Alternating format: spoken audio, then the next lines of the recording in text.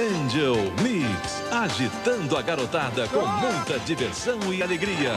E amanhã, 15 para as 10 da manhã, estreia Cavaleiros da Magia, as incríveis aventuras de jovens guerreiros num mundo de encanto e fantasia. Agora!